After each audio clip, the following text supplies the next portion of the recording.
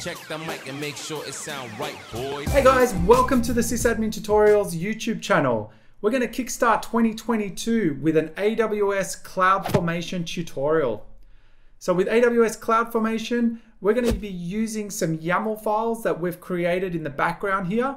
And with those YAML files input into CloudFormation, we are going to be able to automate the installation of an EC2 Linux instance and an EC2 Windows instance. Now, if you remember back a while ago, and I'm going to put this up on screen right here, we did do some videos on uh, creating an EC2 Linux instance and creating an EC2 Windows instance. And in those videos, we did do that the manual way where we just went through, used the wizard, we clicked next, next, next a few times, entered in a couple of uh, input parameters, and then AWS went along and created our uh, instances.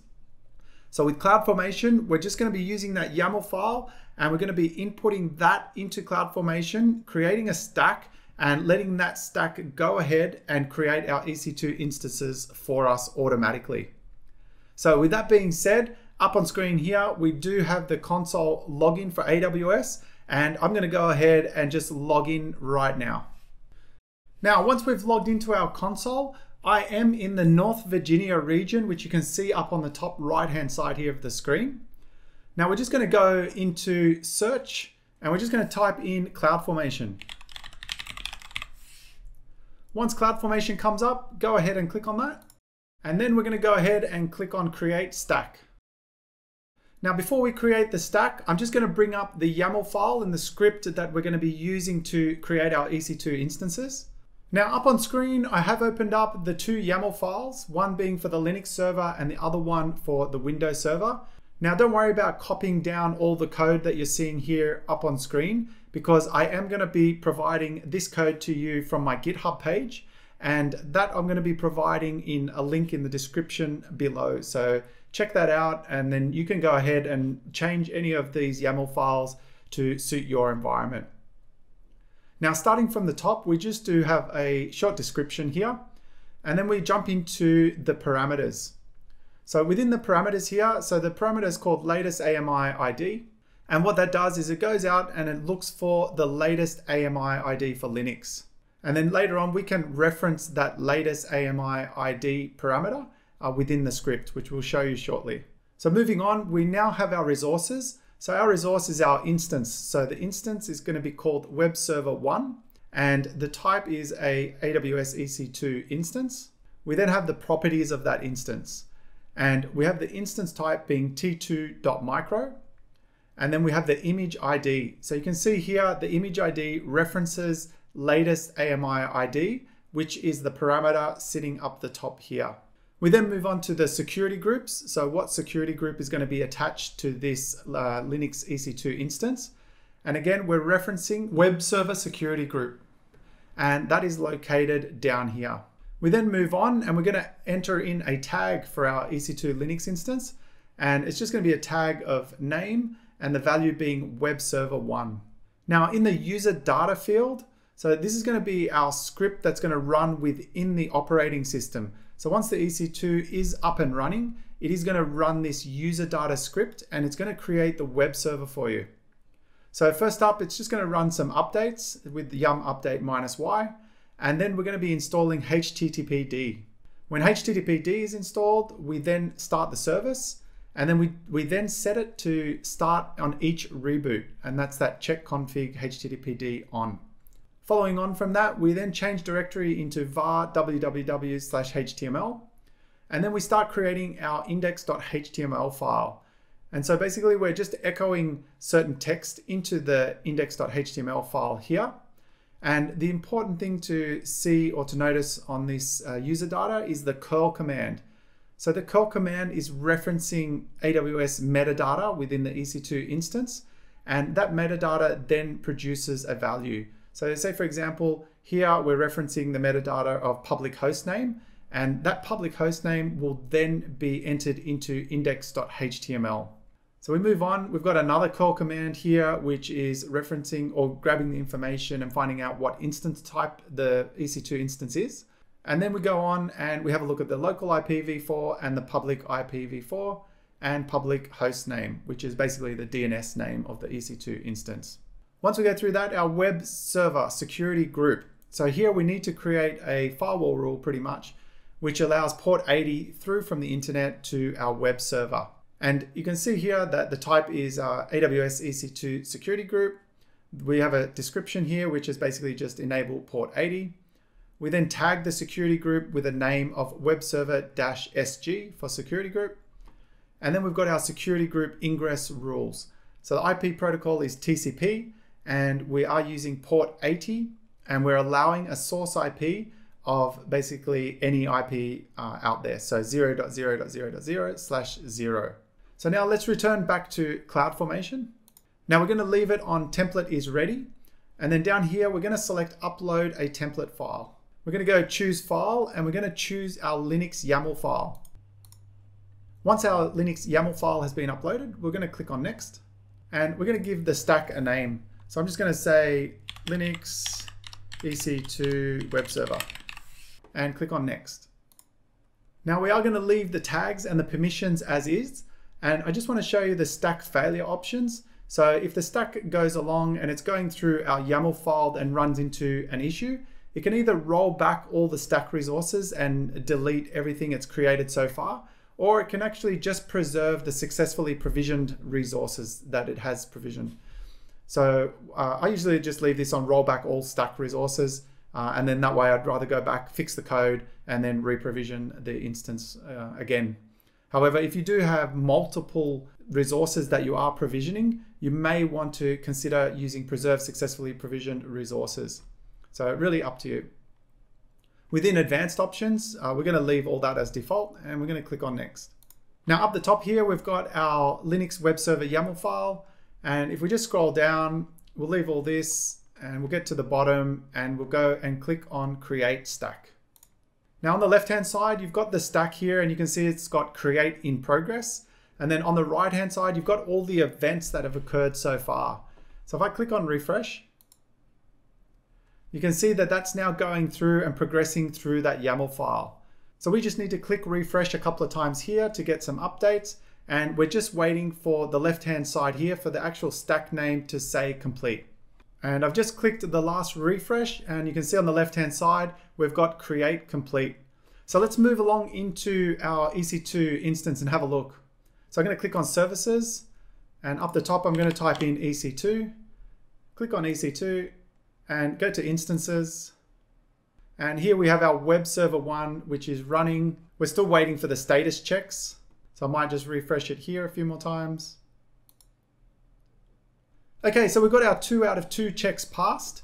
And if I just click on web server one, now down the bottom here, we've got our public IPv4 address, and we've also got the public IPv4 DNS.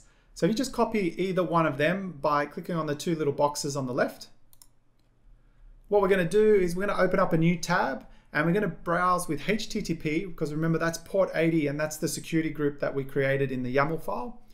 And then it's just going to be HTTP colon slash slash and then the IP address or the public IPv4 DNS address.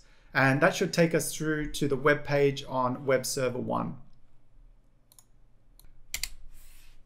And here we go, we've got our website here, sysadmin tutorials EC2 Linux demo. And then we've got all this information here, which is actually pulled out of the metadata. So if you remember back when we had a look through the YAML file script and we were in the user data section, we were using curl and then HTTP colon slash slash 169.254.169.254. And then we'd pull out the metadata of, for example, the server host name, the instance type, the internal IP address, external IP address, and the um, external DNS address as well. So that grabbed all that information, put it into the index.html and displayed that as a web page here for us to have a look at. Now what we're going to be doing is we're going to go back to CloudFormation here.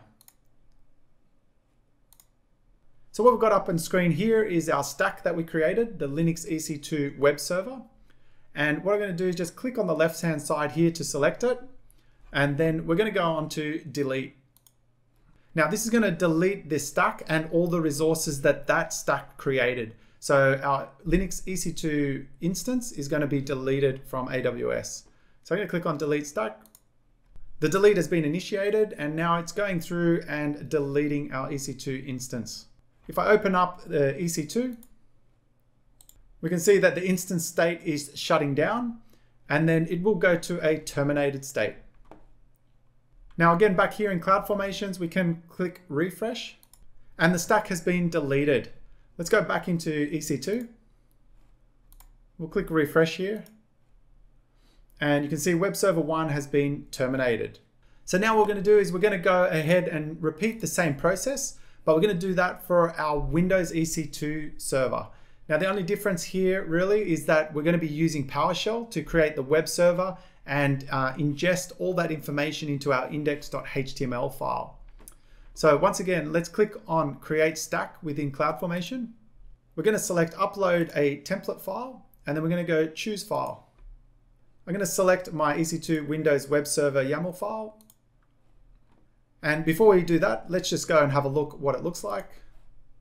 So basically we have the same description uh, parameters, except in the parameters, getting the latest AMI ID, it's actually just getting the latest image for uh, Windows Server 2019. Now we go through, the resources are pretty much all the same until we get down to user data. So in user data, we're using PowerShell here and we're using PowerShell scripts to create the web server on our Windows Server 2019.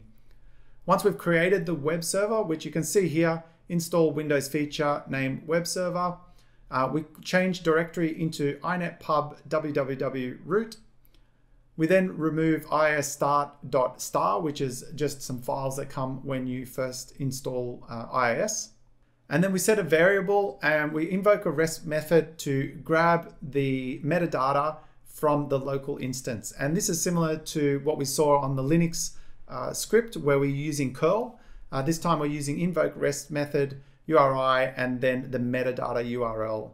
So you can see here we're getting the local IPv4, public IPv4 and public hostname. We then get the local hostname of the Windows server and we get the instance type. Now, as a bit of a bonus, we also get the operating system version. And then we create the index.html file. And we set index.html as a variable for dollar $file name. So we don't have to keep referencing index.html. We are just going to reference dollar $file name. Now we're going to add content to dollar $file name, which is index.html. And we're going to add a break. Then we're going to add a heading of sysadmin tutorials EC2 Windows demo we're going to put in bold your server host name is, and then we're going to print out the host name, which is dollar host name. So if we have a look at what dollar host name is, dollar host name is up here, and it just equals the host name of the operating system. We then have a break, and then we got in bold your instance type is, and then dollar instance type. So dollar instance type is whatever was populated within invoke REST method URI, and then the metadata, uh, latest metadata slash instance dash type. We then move on with another break. We get the your internal IP address is, and we populate that with internal IP address, which was populated into the variable dollar $local IPv4. Another break, we then get the external IP address, another break, and then we get the public DNS, uh, and that's populated with um, whatever was in dollar $public hostname variable. After that, we move on and we've got our web security groups here. So pretty much exactly the same as what we had for Linux. We're allowing port 80 to come through from the internet from any IP address. And the name of this security group is called webserver-sg for security group. So let's return back to CloudFormation. And now before I'm going to click on next, I'm going to click on view in designer because you can see this as a graphical representation as well. So let's click view in designer. And here we have our web server one instance, which is attached to web server-sg security group. Um, down the bottom here, you can see the code that was used. And within the designer, we can also click on this little tick here, which is going to validate the template. As you can see up the top here, it did say template is valid.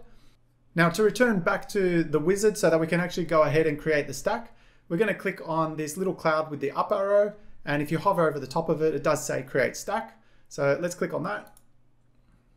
And then we'll go ahead and we'll click on next. Now we'll give the stack a name.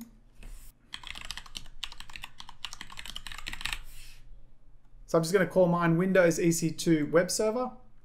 And you can see here that it's set the parameter for latest AMI ID and it's set that for the 2019 Windows Server. We'll go ahead and click Next. Once again, we'll leave all these options as default and we'll leave our stack failure options to roll back all stack resources. Scroll down to the bottom and we'll click on Next. Lastly, we've got the review of all our settings. We'll scroll down and we're going to click on Create Stack. Now, once again, similar with the Linux EC2 instance, we're going to see the events uh, progress here as we click on Refresh. And again, we're waiting for the left-hand side here for our stack name, Windows EC2 web server, to be in a complete, a create complete state. And there we go, we are in the create complete state for our CloudFormation stack. Now, one thing I just wanted to show you as well, if we click on resources tab, so remember in the script, which I'm just gonna pull up now. So under resources, we had the web server one resource, which is our EC2 instance. And the second resource we had was our security group called Web Server Security Group. Now, if I return to CloudFormation, you can see here that these are the two resources here, Web Server Security Group and Web Server 1, which is the EC2 instance. And both of those resources are in a create complete state as well. Now we'll head on over to our EC2. And because I'm running this back to back with our Linux stack that we created, we'll still see that our web server one, which was the Linux one, is in the terminated state here. So that will take a little bit of time to flush out from the console. Uh, the one that we're going to be concentrating on is the Windows server, which is this one here, web server one in the running state. And again, we're just waiting for two out of two status checks before we proceed. So we'll go ahead and keep clicking on refresh until that happens. Okay, status checks have now passed. So we've got our two out of two. I'm going to click on web server one, our Windows instance. And we're going to do exactly the same thing. We're going to go down here. We're going to click on the public IPv4 address. Now we're going to open up a new tab and we're going to browse to http colon slash slash the public IPv4 address of this EC2 instance. And that should take us to our Windows 2019 web server index.html page. And there's our page. So sysadmin tutorials EC2 Windows demo.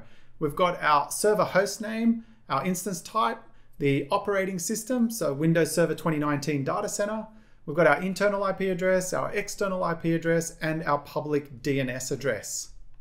Now you can see how powerful CloudFormation is. It saves a ton of time. And if you're repeating the same process over and over again, let's say creating the same EC2 instances, then I highly recommend that you use CloudFormation to automate as much of that as possible.